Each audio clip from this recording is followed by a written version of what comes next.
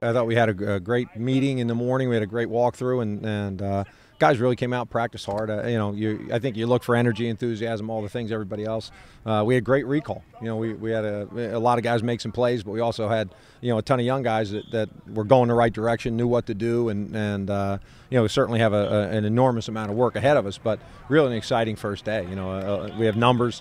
Uh, you know, we're able to split squad and, and, and go two seven on sevens, and you know we we probably got you know 75 more reps today than we did in the first practice, either the first two years, just because we're able to, to you know practice in two spots.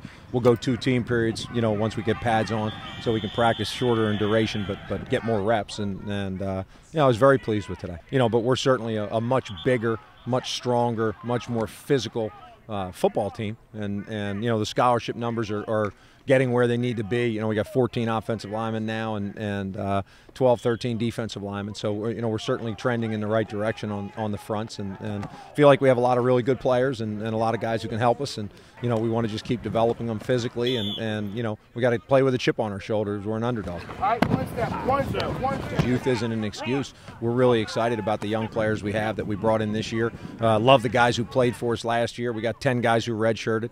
Um, you know, so, I mean, there's a lot of energy, a lot of enthusiasm. You know, a lot of guys who've played a lot of football and, and you know, have a long career here at Delaware. So it, it's really exciting for me. And, uh, you know, it's fun to come to practice. It's like you're investing every single day in, in a player and you're going to get a three year return.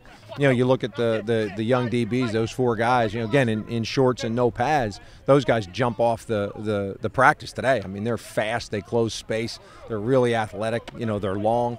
Uh, you know, it, it, you really want to look when you look at those guys. That's what you want to see.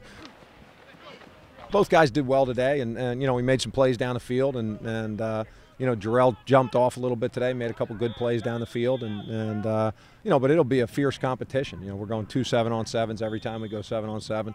We'll split the teams a couple times, and I mean those guys are going to get a ton of reps. You know, they'll both get more reps than a normal one would get in, in a normal training camp because we're going to try and, and make sure we make a great decision for the program. You got guys like Trey Brown and Troy Gallen at, at, wide receiver, you know, flying around doing a really good job, and and uh, you know I, I, think those guys will really make an impact in, in what we do and in how we do it. So and then obviously the quarterback position, you know, neither guys played, so that that's going to be the one that's going to ultimately decide, you know, our fate ultimately in, in the season, and and uh, you know we're going to give them as many as bats that we can and, and see what they do.